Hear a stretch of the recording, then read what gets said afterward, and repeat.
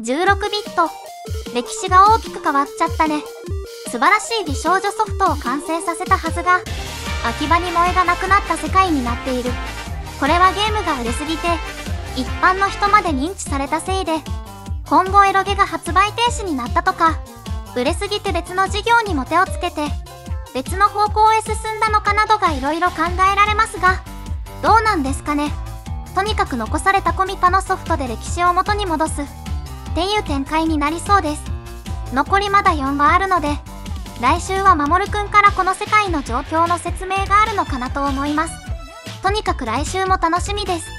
以上、16ビットのお話でした。